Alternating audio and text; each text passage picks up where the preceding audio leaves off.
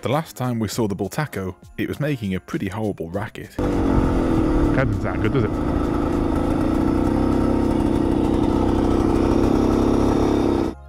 It sounded like a top end noise, so it's time to have a look at the barrel, the piston, cylinder head, and see what's what.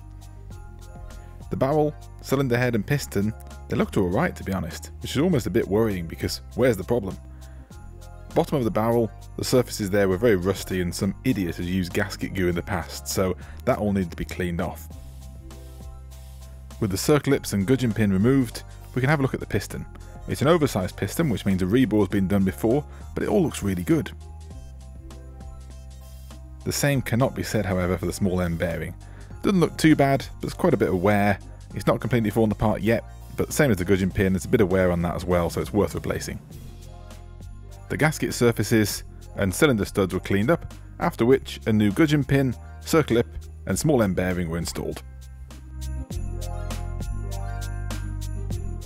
Using a proper paper gasket, it was now time to refit the barrel. While the bike was apart, I thought now would be a good time to update the old points ignition to a more modern electronic type. Fitting it was dead easy, the ignition timing is even sorted out of the box. So having inspected and rebuilt the top end, did it make any difference whatsoever to this horrible noise? I forgot to actually record this part, but the answer was a resounding no. But I then started to wonder, maybe the noise is coming from behind the clutch cover.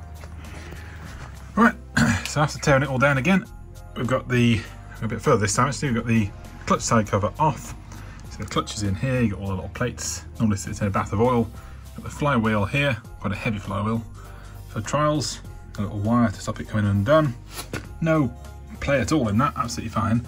If we can get the camera underneath, the end of the tension has come apart. It's fallen apart. So let's get that replaced.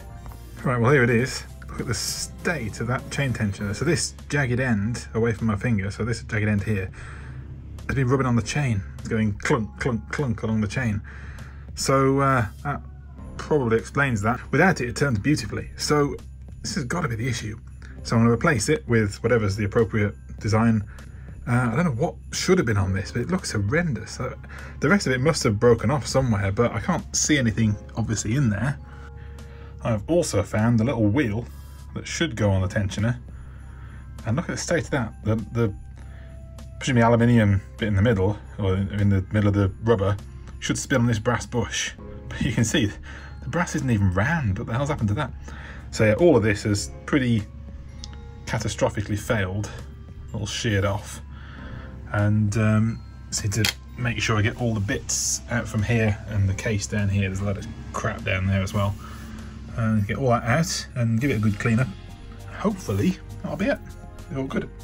With the chain tensioner replaced, I fitted a reproduction tail light along with a genuine Spanish period headlight, made up a wiring loom to go with the new ignition, then we thought we'd give it a try, get it running, see if this noise has gone away, and I'm pleased to report, it has. Problem solved.